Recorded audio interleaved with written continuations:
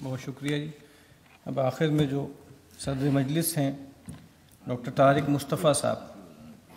तारिक मुस्तफ़ा साहब, बुनियादी तौर पे मैकेनिकल इंजीनियरिंग में इन्होंने डिग्री की, लंदन यूनिवर्सिटी से इसमें न्यूक्लियर इंजीनियरिंग और स्पेस टेक्नोलॉजी में स्पेशलाइजेशन थी। उसके बाद पोस्ट ग्रेजुएट स्टडीज़ और ट्रेनिंग के लिए मुख्तलिफ़ इदारों में अमेरिका के और यूके के और फ्रांस के उसमें ये काम करते रहे।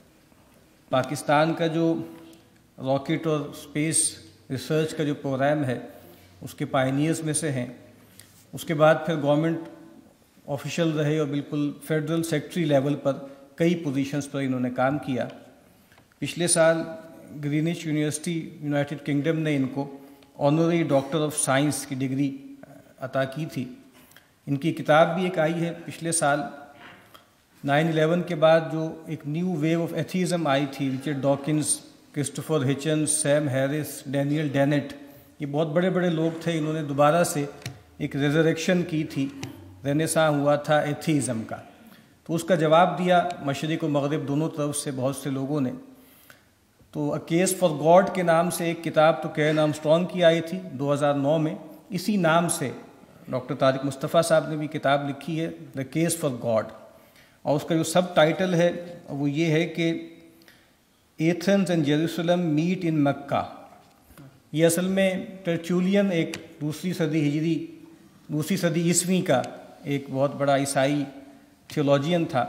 उसका एक बहुत मशहूर जुमला है कि what has Athens to do with Jerusalem कि एथेंस का और जेरूसलम का आपस में क्या ताल्लुक़ है? और या उसने कहा कि एकेडमी विद द चर्च कि रीज़न और रेवलेशन या फेथ एंड रीज़न इसका आपस में कोई तालमेल नहीं है। तो डॉक्टर साहब का ये कहना है कि ये मीट इन मक्का, यानी इस्लाम वो जगह है, इस्लाम वो दीन है, जहाँ पर ये रीजन और रेवोल्यूशन इसकी रिकन्सिलियेशन होगी। मैं दरख्वास्त करता हूँ डॉक्टर तारिक मुस्तफ़ा साहब से कि वो तशरीफ़ लाएँ खुतब सदात इर्शाद फरमाएँ। बिसमीम नहमदूनसली रसूल करीम। रब शराहली सदरी, व यसली अमरी, व आहलुलतम मिन लिसानी यफ़क़ू कौली। मैं यू एम टी और कुरान अकेडमी का बहुत मशहूर हूँ कि उन्होंने इस आम मौजू पे ये सेमिनार किया। हमने बहुत कुछ सुना इस मौजू पे।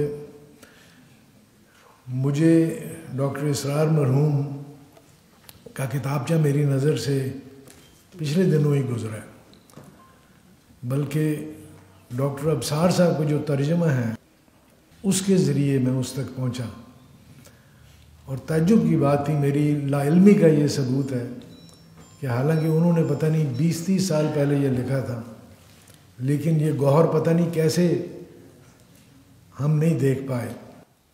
और उसमें भी कुछ मुझे हैरानी हुई जब उसमें मैंने देखा कि एक रिजर्वेशन दी गई है कि ये तंजीम इस्लामी के कुछ अफराद का कि जी, ये डॉक्टर साहब के अपने ख्याल हैं, इसका तंजीम से ताल्लुक़ नहीं है। जितनी मुझे खुशी हुई थी इस किताबचे को देख के, उतना ही सच पूछे तो तासुफ हुआ कि ये रिजर्वेशन क्यों? क्योंकि डॉक्टर साहब मरहूम ने जो कुछ लिखा है, वो कुरान करीम की बुनियाद पे लिखा है। उन्होंने पूरी उसमें कोटेशंस दी हैं, अपने आर्गूमेंट को पूरी तफसील से बताया है। अगर उनसे कोई जुजवी इख्तलाफ हो, वो तो हो सकता है, अच्छी बात है, आपस में डिस्कस करें। अगर कोई बुनियादी इख्तलाफ है तो मेरे ख्याल में तो फिर ज़रूरी है कि उसकी बात की जाए, बजाय ये कि रिजर्वेशन दे के उसके, उसको कमज़ोर कर दिया जाए। उसकी बातचीत होनी थी। जब से नज़रिया इरतका पे डार्विन की ओरिजिन ऑफ़ स्पीशीज़ निकली है, दुनिया के हर कोने में उस पर डिबेट हो रहा है।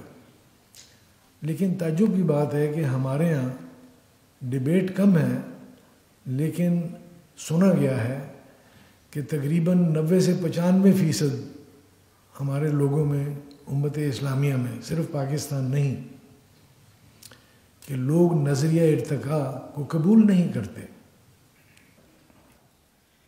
अब ये कैसे है जी अभी आपने सुन लिया कि हमारे असलाफ का ये नज़रिया नहीं था। तो ये एक सोचने वाली बात है। आपने इल्मी मकाले तो सुन लिए। मैं तो एक इंजीनियर हूँ तो मैं थोड़ा सा अमूमी लेवल पे भी बात करूँगा।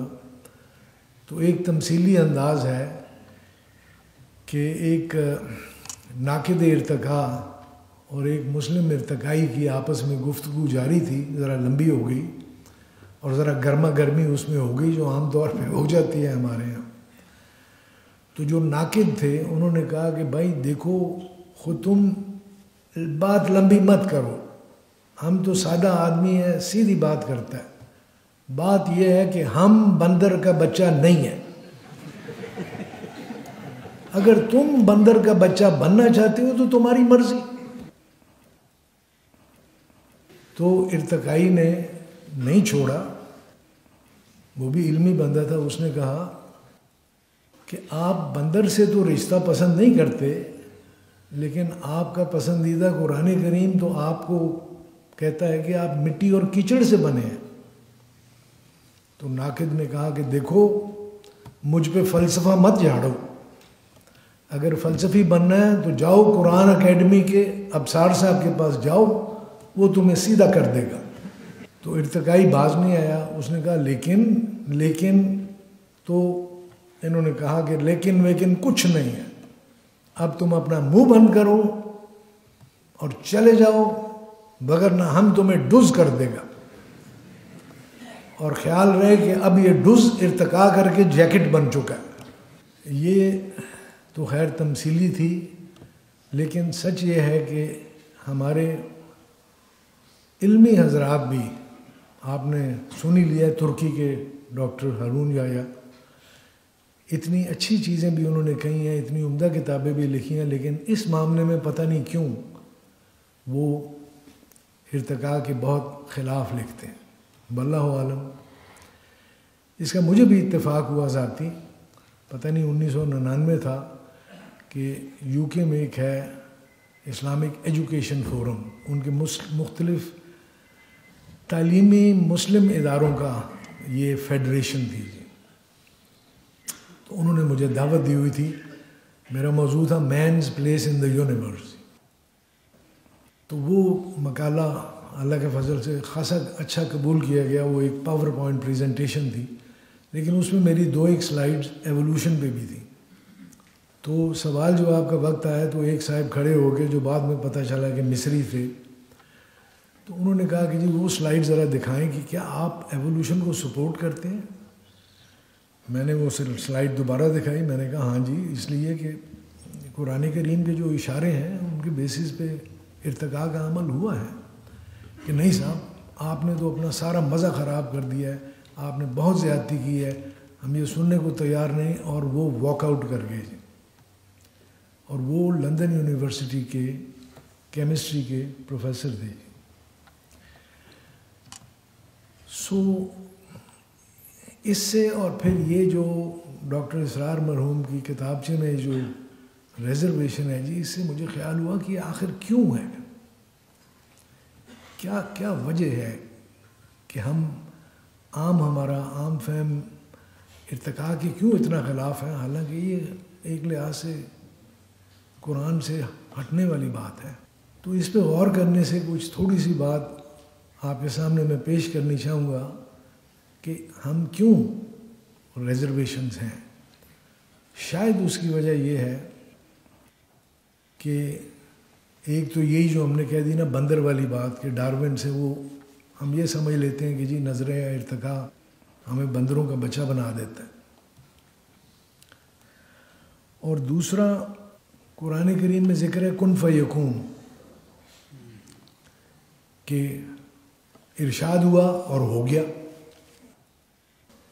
तीसरा, जो मिट्टी से तख्लीक की वर्स है, उसको हम सीधा साधा ले जाते हैं कि मिट्टी एक पुतला बना दिया गया। और चौथा, किस्सा तख्लीक आदम। इनसे लोग ये समझ लेते हैं कि जैसे एक बनी बनाई चीज़ आ गई थी।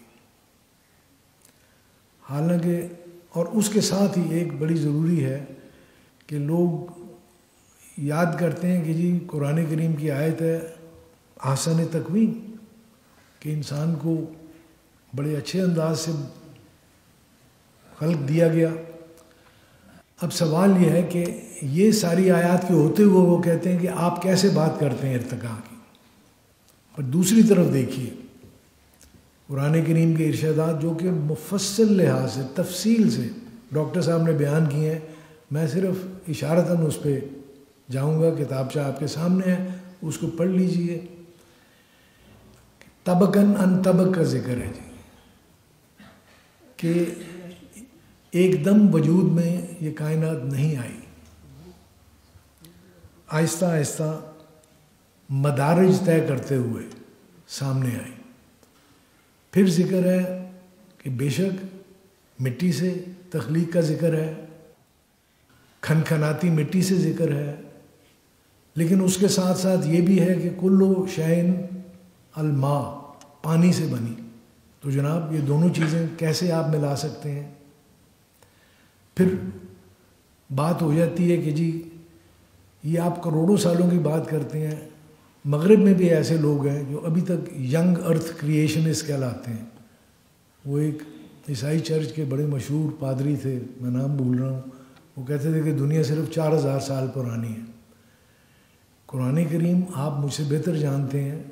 उसमें वाज इरशाद है कि छः योम में बनी, जो बाइबल से मिलती है, लेकिन हर योम जो है वो आपके हज़ार साल या यूँ कहिए पचास हज़ार साल के बराबर हो सकता है। मुराद ये कि बहुत लंबे वक्फे का इससे ज़्यादा अंदाज़ा कीजिए, आज से चौदह सौ साल पहले। और क्या कहा जा सकता था? उस वक्त तो करोड़ों का शायद मफहूम भी लोगों को पता नहीं था। सो मुराद ये कि लंबा अरसा होना, मदारज से तबकन तबक आगे बढ़ना, और एक वक्त मिट्टी से होना और एक वक्त पानी से होना, यही तो इरतका का केमिकल बायोलॉजिकल और फ़िज़िकल सिस्टम है जी। तो अगर इनको सामने रखा जाए तो फिर इनमें जो तजाद लगता है, मेरे ख्याल में वो दूर हो जाता है। तो हमें इसमें कोई ताजुब या शर्म की बात नहीं है कि कुरान करीम साफ़ साफ़ इसकी तरफ़ इशारे मतलब इतने इशारे हैं कि बात वाज हो जाती है। और मैं फिर कहूँगा कि मुझे कुछ कहने की ज़रूरत नहीं, मैं आपकी तवज्जो इस किताब के, की तरफ़ मबजूल कराऊँगा। इसमें आपको उसको ज़रूर पढ़ें दोबारा, उसकी जो बुनियादी आयात हैं उनके गौर व करें, लेकिन ये हमारा फ़र्ज़ बनता है कि हम बिला वजह नी जर्क रिएक्शन के तौर पे क्योंकि एवोल्यूशन को डार्विन के बाद कुछ मादा परस्त लोगों ने गलत रुख दे दिया था। डार्विन भी खालिक के इनकारी नहीं था। लेकिन ये हकीकत है कि जो उसका फ़लसफ़ी नज़रिया इरतका का, वो एक लिहाज से एक्सप्लेन कर देता है कि जी कायनात और इंसान कैसे वजूद में आया। तो लोगों ने इसको ले लिया कि फिर उस एक्सप्लेनेशन के बाद खालिक की ज़रूरत ही नहीं रही। हालाँकि ये कोई नतीजा वहाँ से नहीं निकलता। ये तरीक़ाकार खालिक का भी हो सकता है, और है। हमने सुन लिया, डॉक्टर साहब ने साफ़ बताया कि एक आलिम अमर है, और फिर एक आलिम खल्क है। जब दोनों चीज़ों को आप सामने रखेंगे तो फिर ये जो तजब्जुब है, ये ख़त्म हो जाता है। तो लिहाजा मेरी फिर गुजारिश है कि इसके मतलब हमें तजब्जुब की ज़रूरत नहीं होनी चाहिए। और ये चीज़ इंतहाई ज़रूरी है कि क्लियर हो जाए, क्योंकि वो लोग जो इस्लाम के नाकद हैं, कुरान के नाकद हैं, वो ये शो करना चाहते हैं कि ये किताब जो है, ये तो बैकवर्ड है, ये तो पुरानी किताब है। ये आजकल की नई नॉलेज के ऊपर पूरी नहीं उतरती। और हम खम खा उनकी बात सुनने के बाद एक लिहाज से उनके पीछे लग जाते हैं और जो कुरान करीम का हक अदा करना चाहिए, मैं समझता हूँ, वो हम अदा नहीं कर रहे। और जब तक ये एक बुनियादी पॉइंट है, इसको हम क्लियर नहीं कर लेंगे, तब तक हमारे लिए ऐसा तरीके से कुरान करीम जदीद इंसान के सामने, ख़ास तौर पे अपने नौजवानों के सामने पेश करना मुश्किल हो जाए। इस सिलसिले में कुरान करीम का एक अपना ही एजाज़ है। जो बार बार मेरे ख्याल में ज़िक्र भी हुआ है, तशरीफ़ुल आयात। ये क्या चीज़ है जी? बाज़ लोग कहते हैं, जो नाकिद हैं, कि जी कुरान करीम तो पढ़ना ही मुश्किल है। उसमें तो बार बार चीज़ों को रिपीट किया गया है, बेरबत है बेहंगम है, और उसकी वजह क्या है कि ये एक आम किताब तो नहीं है। हम सबको पता है कि तेईस साल में नाजिल हुई। आहिस्ता आहिस्ता आयात की सूरत में नाजिल हुई। हालात के मुताबिक गाइड करने के लिए है क्या? ये ना तो साइंस की किताब है, जिस तरह डॉक्टर नाइक ने बड़ा अच्छा फरमाया। यहाँ पर भी बात हुई कि ये बुक ऑफ़ साइंस नहीं है। इसको अगर वो तस्वर कर लिया जाए तो फिर गलत फहमी होंगी। लेकिन ये बुक ऑफ़ साइंस है S I G N S निशानियाँ हैं। ताकि इन निशानियों से इंसान को साबित कर दिया जाएगा कि इसके अंदर कोई शक नहीं। कुरान करीम की आयात, मेरा ख्याल है, इकतालीस में सूरह की शायद छत्तीस आयत है कि सनूरीम आयात ना, कि आपको निशानियाँ आफाक में far reaches of the cosmos और अनफुस में इंसानी फितरत में, आपके नफ्स में साइकोलॉजी और सोशियोलॉजी में, इन अलूम का आप हासिल करें इल्म तो ख़ुद ही आपके ऊपर ये हकीकत वाज होती जाएगी कि ये किताब जो है, हक है, सच है। इसमें कोई गुंजाइश नहीं, गलती की। और तीसरा जो इशारा है, वो कहा गया है कि अगर आपने साइंस देखने हैं तो तारीख़ उमम में, पुरानी कौमों की तारीख़ को देखिए, इंसान की अरूज जवाल की तारीख़ को देखिए, ख़ास तौर पे बनी इसराइल की तारीख़ को देखिए। कि जब इन हकीकतों पे उन्होंने उमल, अमल किया तो उस कौम को दाऊद सुलेमान की शौकत दी गई। ये नहीं कि वो चोज़न रेस थे जिस तरह उन्होंने अपने आप को गलती से समझ लिया। जब उन्होंने अच्छे काम किए तो उनको वो शौकत दी गई और जब उस काम से वो भटक गए तो जो उनका अंजाम हुआ, जो कौम फ़िरौन ने उनके साथ किया, जो बख्त नसर ने उनके साथ किया, जो हिटलर ने उनके साथ किया, वो भी हो सकता है। और ये सिर्फ़ उनके लिए नहीं है। हम भी तो यही समझते हैं कि हम भी उम्मत इस्लामिया नबी अकरम सल्लल्लाहु अलैहि वसल्लम की उम्मत होने की वसात से बच जाएँगे, ऐसा नहीं है। कुरान करीम का साफ़ इरशाद है कि जो अच्छे काम करेगा, उसके नतज अच्छे होंगे और जो उनको छोड़ देगा, उससे रूगर्दानी कर लेगा, उनका अशर फिर वही है जो बनी इसराइल का के मतलब कहा गया था। सो इससे मतलब मकाम इबरत होता है। और आजकल के लिए, हमारे लिए, मेरे ख्याल में ख़ास तौर पे ये गौर तलब है। अब ये भी सोच, ये भी देखिए मतलब कि सबक क्या है कौमों बनी इसराइल ने क्या कहा था कि we are the chosen race we have a promise land ये उनकी बुनियाद है इसराइल के बनने की। इससे हिटलर ने क्या कहा था कि German are the superior race आप देखें आइडिया एक ही था चोजन या सुपीरियर रेस तो हिटलर के हाथों हॉलोकास्ट हुआ।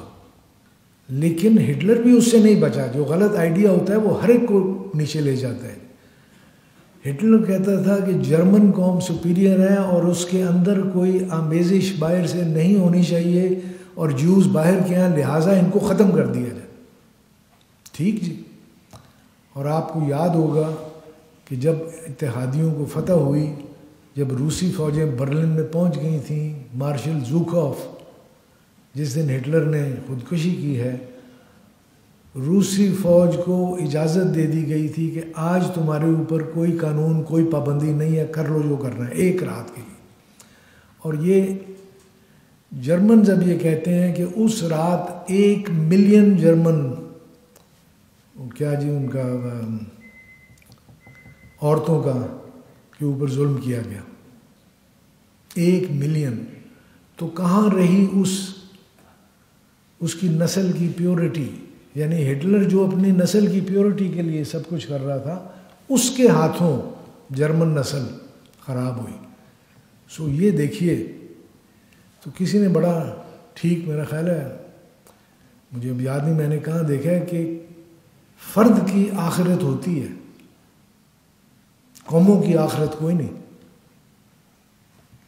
सो फ़र्द तो गलत काम करके बाज़ात इस दुनिया में बच जाता है क्योंकि आखिरत में उसका हिसाब होगा। कौमों की आखिरत कोई नहीं, लिहाजा सबक क्या निकला कि कौमों को जो है, यहीं उसका नतीजा बता दिया जाएगा।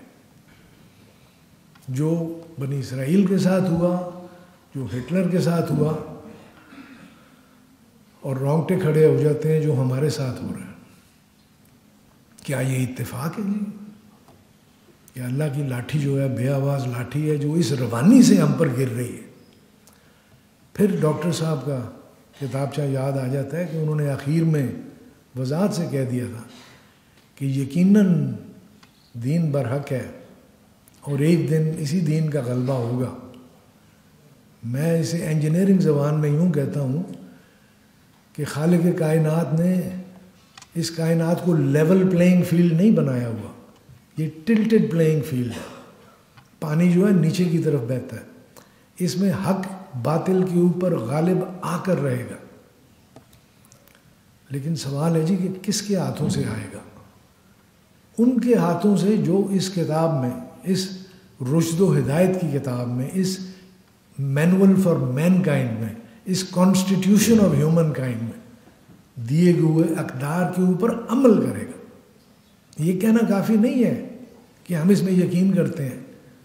हम तो उस रहमतुल्लामीन की क्या कहना चाहिए, सिफारिश के ताक में लगे रहते हैं जी, कि मुसलमान के नाते हमारी निजात हो जाएगी। वल्लाह आलम जी, लेकिन मुझे तो शक है, बनी इसराइल की मिसालें सामने आ जाती सो डॉक्टर साहब ने निशानदेही कर दी है, बल्कि मुझे उनका एक याद है, लेक्चर भी, शायद पीस टीवी पे आ रहा था। उन्होंने कहा था जी कि दो कौमों को इस वक्त, हालाँकि कौम का तो लफ्ज़ ही हमारे लिए अच्छा नहीं है, हम तो अपने आप को उम्मत इस्लामिया कहते हैं, लेकिन दो कौमों को बड़ा ख़ास ख्याल रखना चाहिए। एक पाकिस्तान, जो कि इस्लाम के नाम पे मुल्क बनाया गया था, और अब हमने उससे रूगर्दानी कर ली है। उन्होंने ये फरमाया था कि अभी क्या हमारे ऊपर तबाही आई है जो आने वाली है?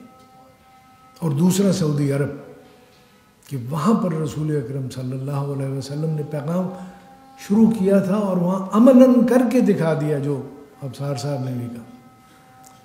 और उसके बाद आजकल वहाँ क्या हो रहा है? तो इन दो कौमों को मिसाल बनने के लिए तैयार रहना चाहिए। अगर हम अपनी रविश नहीं बदलेंगे तो फिर उसका नतीजा वही होगा जो और कौमों के साथ हो चुके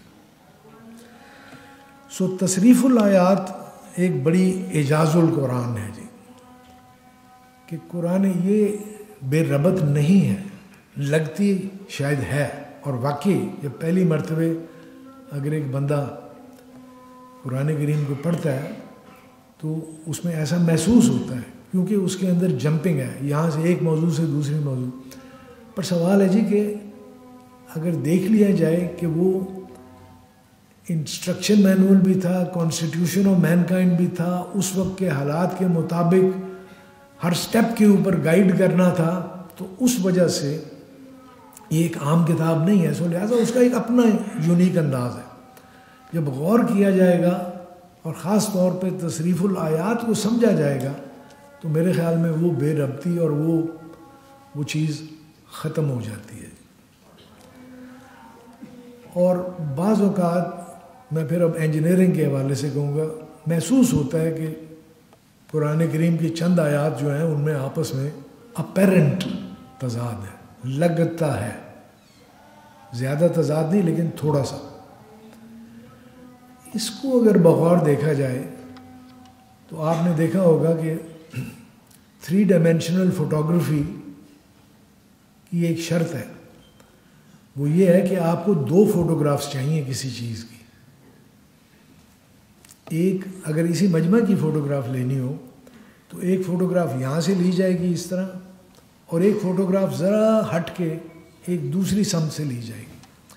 और फिर इन दोनों फोटोग्राफ्स को जब आप एक आले के अंदर रखेंगे, सीधे साधे, और बाइनोकुलर विजन से देखेंगे तो आप देखेंगे कि उसके अंदर थ्री डायमेंशनल इफ़ेक्ट पैदा हो जाता है।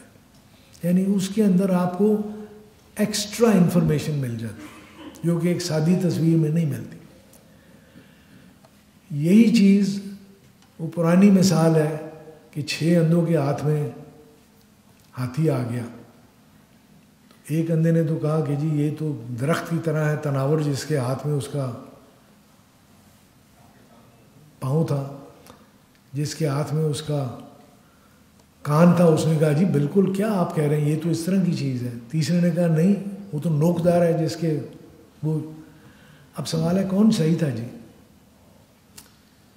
अगर आप ये सोचने का और ये कहें कि, जी, फैसला किया जाए कि इनमें से कौन सही है तो आप कंफ्यूज हो जाएँगे।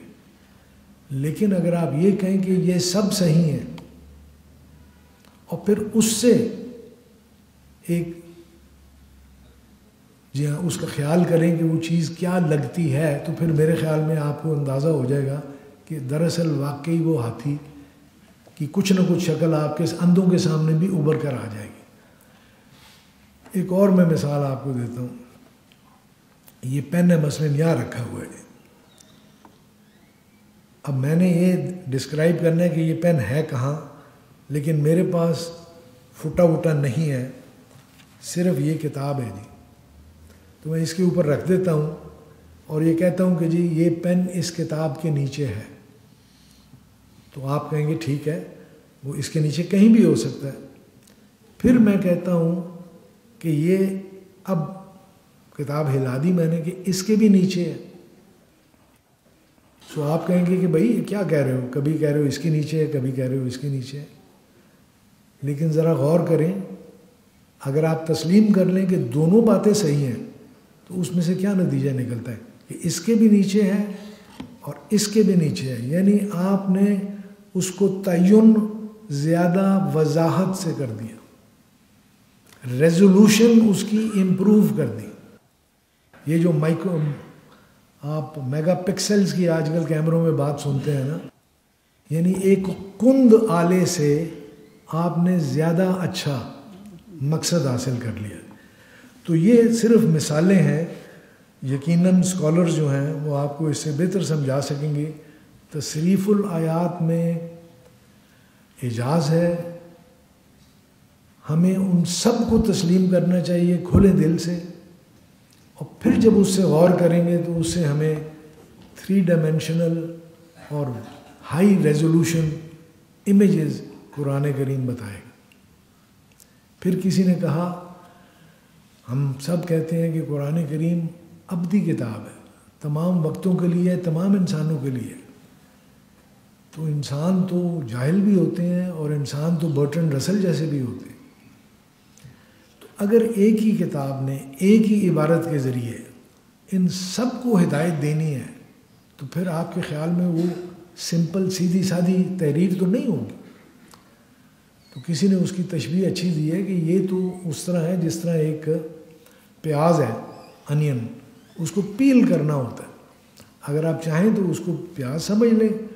और अगर आप फ़लसफ़ी अब सार साहब की तरह और चाहते हैं, नहीं जी, मैं तो इसके अंदर पहुँचना चाहता हूँ तो फिर आप उसको पील करें तो उसके अंदर से आपको अजीब अजीब नवादरात मिलेंगे। और जिन लोगों ने पुराने करीम के ऊपर गौर किया है, सिर्फ़ सवाब के लिए नहीं पढ़ा, वो खुद बताते हैं, तस्लीम करते हैं कि हर दफ़े जब वो उस पर गौर करते हैं तो उसके अंदर से कोई नया नुक्ता निकल आता नई बात समझ में आती नए अंदाज से दिल में उतर जाते हैं। इस पैगाम के आखिर की तरफ़ आता हूँ जो मेरे ख्याल में उसका निचोड़ और उसका शायद मकसद था डॉक्टर इसरार साहब का। ठीक है, ये नज़रियात जो होते हैं इंपॉर्टेंट हैं। लेकिन फ़र्क देखिए, मादी नज़रिया इरतका में और कुरानी नज़रिया इरतका में जो डॉक्टर इसरार मरहूम ने बहुत ही खूबी से बताया। मादी और कुरानी में एक तो बड़ा फ़र्क ये है जी कि मादी नज़रिया तो कहता है कि मौत के साथ इंसान ख़त्म हो जाता है। ये हमारा मादी जिसम ख़त्म, इरतका ख़त्म। कुरान तो आगे की बातें करता है। मौत के साथ ख़त्म नहीं है। इरतका का सिलसिला आगे भी जारी रहेगा। एक तो ये बात जो है, नंबर दो, जो थी, जो डॉक्टर अबसार साहब ने भी इशारा किया, बाकियों ने भी कि इमरानी इरतका में जो इंसान कामिल और रसूल कामिल, रसूलुल्लाह सल्लल्लाहु अलैहि वसल्लम की शख्सियत हमारे सामने आई, जिन्होंने अमलन इस निज़ाम को अरब के में कायम करके दिखा दिया। और जो कामयाबी उस वक्त हुई, वो इंसान ने कभी नहीं देखी जी। फतूहात फतूहात का लफ्ज़ ही गलत है। वो किश्वर कुशाई नहीं था जो बाद में खलीफों और साहबा कराम के वक्त में हुई। वो तो इस पैगाम को लेके बाहर ले जा रहे थे। अगर अगर ईरानी और रूमी इस पैगाम को रसूल अकरम की दावत को कबूल कर लेते तो वो कभी उनके ऊपर लश्कर कुशाई ना की जाती। लश्कर कुशाई का मकसद ये था कि वहाँ जो जुल्म तदी फैली हुई थी कि उसको बदलाया जाए। आखिर खालिक कायनात में खालिक के दिए हुए कानून के अलावा और कोई कानून का क्या हक है ये उस पैगाम का मकसद था। ये आपने उसको पूरा कर दिया। लेकिन जिस तरह इन्होंने फरमाया कि वो तो उस वक्त जजीरतुल अरब में हुआ अब काम ये था कि उसको तमाम दुनिया में फैलाना, और ये काम था जी उम्मत का। अगर शफात हासिल करनी है तो उस काम की तरफ़ हमें वापस जाना होगा। लेकिन वो चीज़ सिर्फ़ कह देने से नहीं होगी, वो अमलन करने से होगी। ये तो हमने सुन ही लिया है कि होकर रहेगा, लेकिन ये कहीं नहीं बताया गया कि वो हमारे हाथ से ही होगा। हम अपनी काब, हम इस काबिल होंगे अमलन करके दिखाएँगे तो फिर हमें उस इस्तलाफ अर्द जो वायदा किया गया है मैसर होगा। ये भी मुमकिन है कि वो किसी और कौम के हाथों हो जाए। ये एन मुमकिन है और इसमें हमें अगर हम नहीं करेंगे देखें होना है एक दिन और लाजिम है एक दिन। सो, लिहाजा इस पर मैं अख्ताम करूँगा जी और इस उम्मीद पर कि हम अभी भी होश में आ जाएँगे। और शायद कि ये हमारी किस्मत में ही लिखा हो। शुक्रिया। बहुत शुक्रिया जी। आखिर में मैं दोबारा अंजुमन कुरान लाहौर की तरफ़ से आप सब लोगों का शुक्रिया अदा करता हूँ। सुबहानक अल्लाहुम्मा बिहम्दिका नशहदु अल्ला इलाहा